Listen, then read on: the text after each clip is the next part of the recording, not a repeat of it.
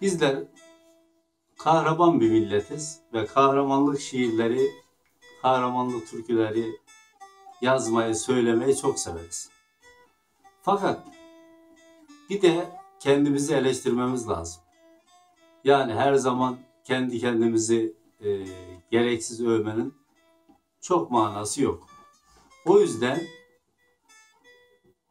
e, övgü dolu Çanakkale şiirlerim de var ama bugün sizlere bir de madalyonun öbür yüzünden bahsetmek istedim.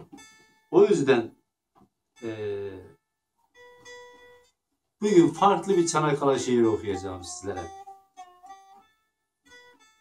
Dedem Çanakkale geçilmez dedi. Gezmeye geldiler, geçilmedi mi?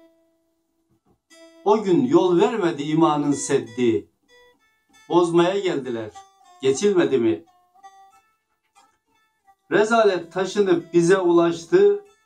Bulaşmak, bulaşmak ne? Son noktaya ulaştı. İçimizde altsız üstsüz dolaştı. Yüzmeye geldiler. Geçilmedi mi? Ceddim taşımıştı hep bu tasayı. Onun için yere vurdu asayı. Beni yönetecek anayasayı yazmaya geldiler. Geçilmedi mi? Sözüm ana baba oğula kıza perdeler çekilmiş gönüle göze. Önce borçlandırıp sonra da bize kızmaya geldiler. Geçilmedi mi? Ahmet der ki bugün dünden iyi mi? Düşmanlara benzetmişim huyumu.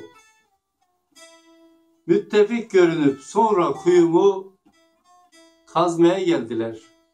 Geçilmedi mi? Bu şiirimde sizlere armağan olsun. Hayırlı günler diliyorum.